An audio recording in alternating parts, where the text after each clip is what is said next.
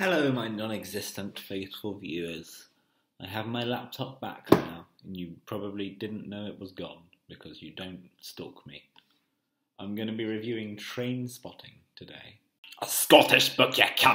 Now, I'll start off by saying I haven't seen the film, so I didn't really imagine Ewan McGregor in any of the roles. I know he plays Mark Renton, the main character.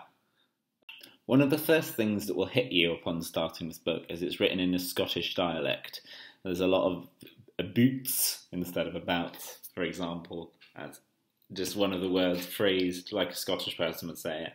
Um, and that may come across as difficult. Some words are completely different, not just written in a different dialect. There's sort of Scottish slang mixed in. Um, it's sort of akin to reading A Clockwork Orange the first time, I would say. Although you get the hang of it a lot more quickly because obviously they're real words, just written in a different way. Most of them, anyway. It's not all in Scottish dialect because Irvine Welsh does tend to shift into third person quite a lot.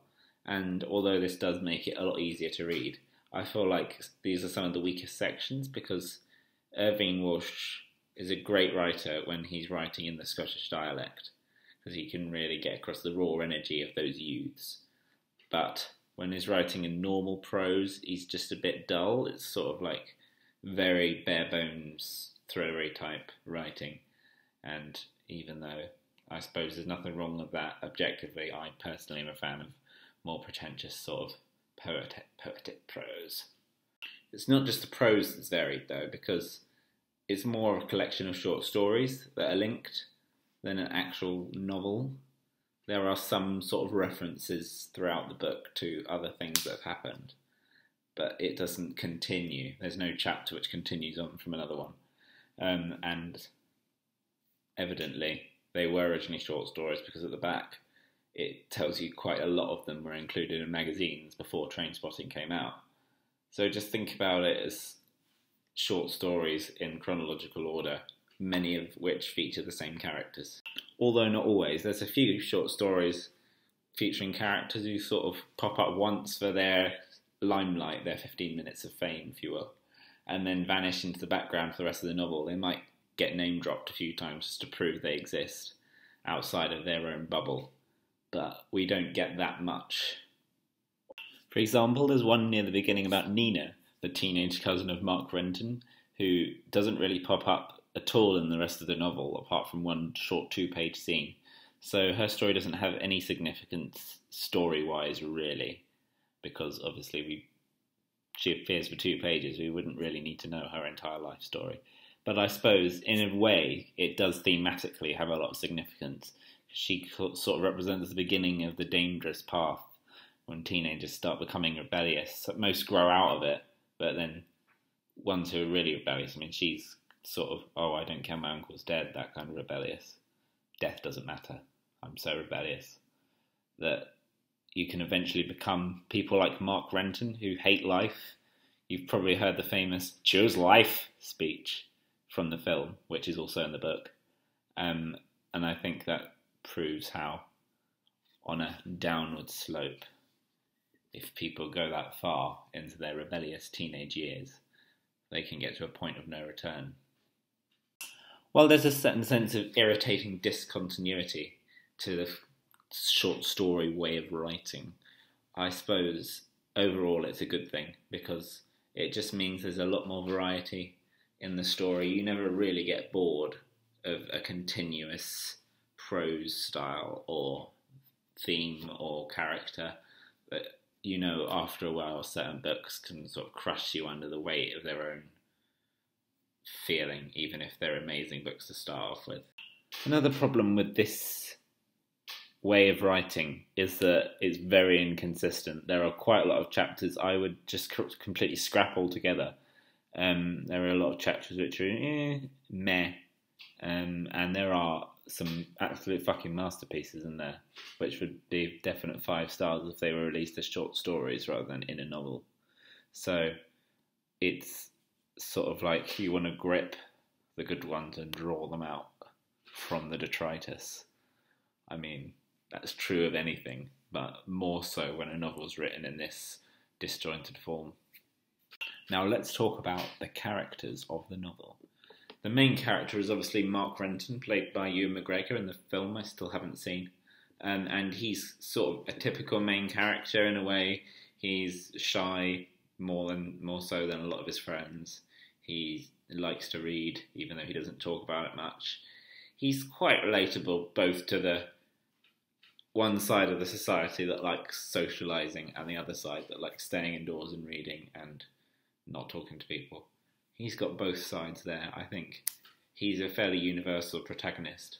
But then there are other things about him which aren't universal, like obviously the drug addiction is the main one, but he's also quite a radical left winger. He hates rich people, he's a bit of a socialist nutter, that kind of thing. Although, in a way, that's quite a typical young person main character in a book about the working class. So, no surprises there.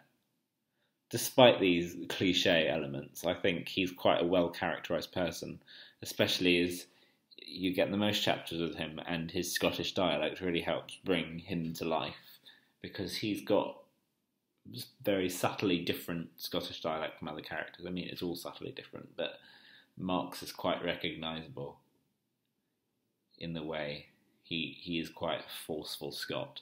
He doesn't mince his words and try and pretend to be English, even though by his own profession he doesn't hate English.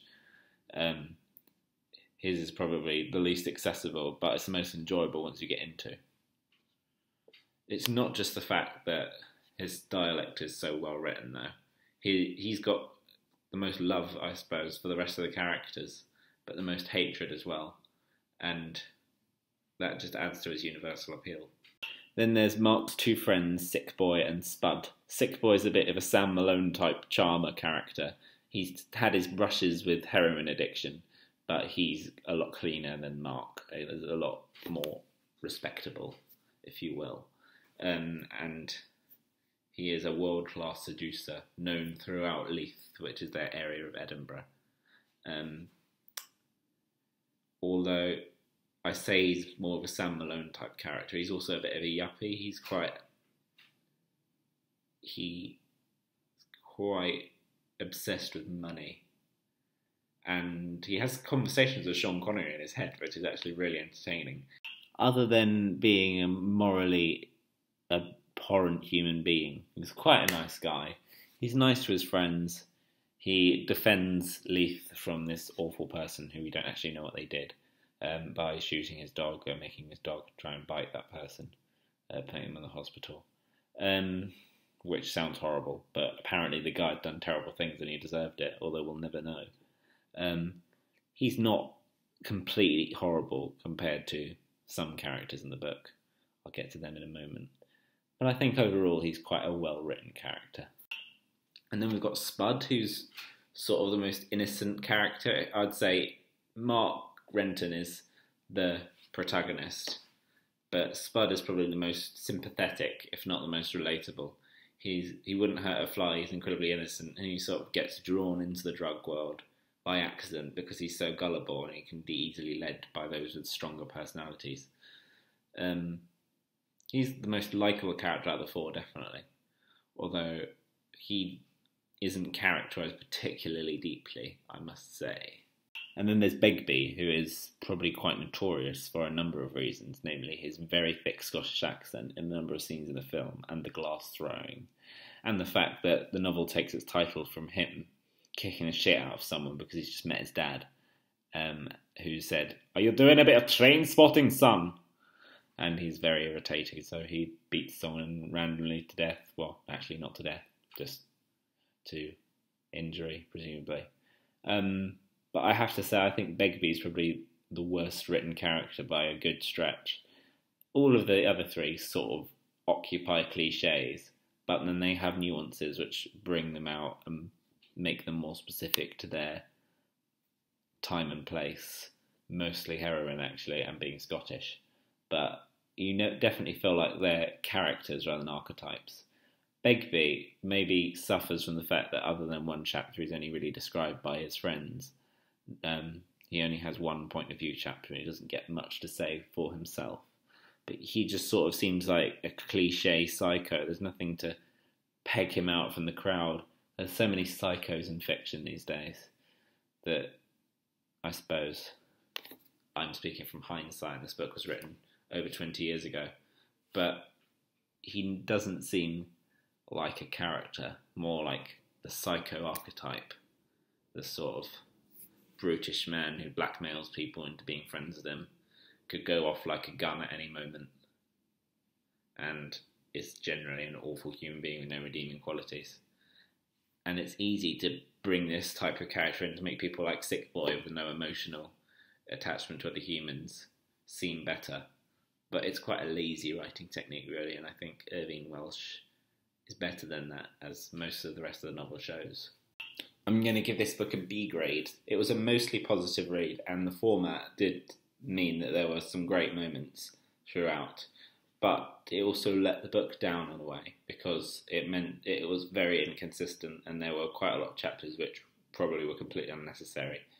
Um, and then there was the characterization, which all of four of the characters are basic archetypes, but three of them are given humanity.